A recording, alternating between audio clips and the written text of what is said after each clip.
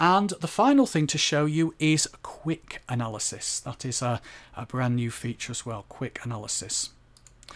So if I select, I don't even need to select anything, I'll just stay in this table, right click and choose quick analysis.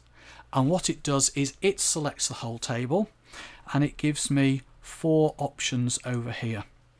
Quick analysis is all about looking at your data or it looking at your data and it um, working out uh, things that you can do to to show that data vis primarily visually. So you've got um, scale icons, you've got um, greater than the top 10%, clear the format, You've got charts that it will build for you based on the data.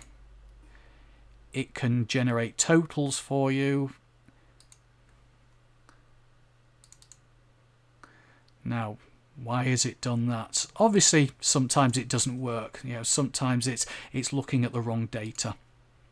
I would have expected it to have come up with some kind of totals based on the amount there. See, it's not perfect, but it is a great, uh, it's a great tool. Spark lines, so it can build spark lines for you based on the data.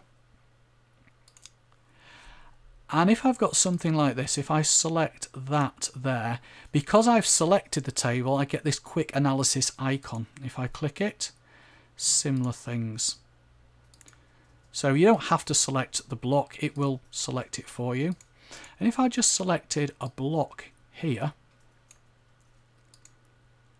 I get slightly different things like under formatting I can get it to point out the duplicate values for me.